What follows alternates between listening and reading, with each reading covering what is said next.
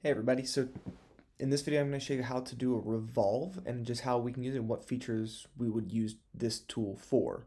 Uh, so we're going to make this kind of bolt shape. Uh, notice it's got a smoothed off top, so we'll talk about how we can achieve that as well.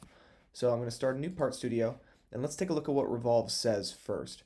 So it's revolving a sketch around a selected axis. So you can revolve it around your origin axes that are here, your X, your Y, or your Z, or you can create a new axis based on something else in the construct menu, um, or you can also have it revolve around like a sketched feature. So I'm going to start a new sketch and start it on the front plane.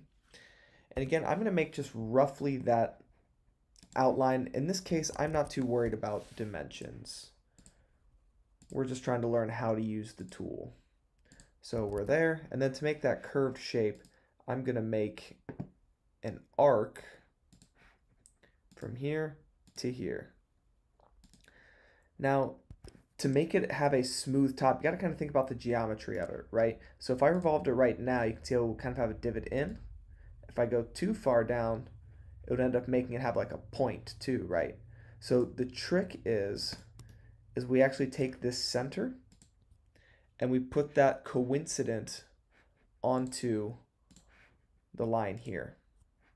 By making that coincident then, it makes the radius of the curve then match perfectly on either side. Um, so then we'd have a sm smooth revolve. So I'm going to increase this a little bit just so we can see the effect.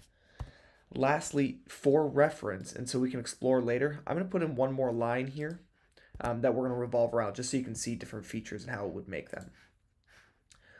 So I left my sketch. Remember, you should have it fully dimensioned in your parts.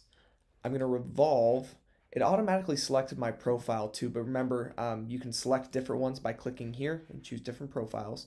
I have to choose my axis, which in this case is going to be this line here. You could choose it as the x-axis, the red line in there, um, if you wish. So once I revolve, you can see it's based on an angle, but you can revolve different values. You can also set it to only do a partial revolve if you'd wish. But I want it to be a full rotation. So there it is. There's roughly my shape. Now remember, um, think about how you could revolve this in different axes and how it would behave differently, right? Instead of that axis, what if I chose this one? Think about what it would make. It ended up being like a dog bowl shape, right? Also think, what if I chose this axis? Would it do anything? Think about how it would have to revolve.